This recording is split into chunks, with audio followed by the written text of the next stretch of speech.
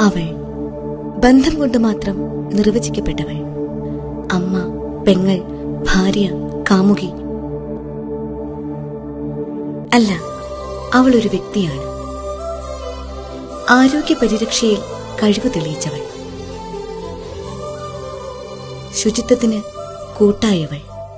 ശുശ്രൂഷയിൽ കനിവായി കൂടെ നിന്നവൾ. സേവനം കൊണ്ട് തുണയായവൾ. പരിശോധനയാൽ പ്രതിരോധത്തിന് കരുതലായവൾ.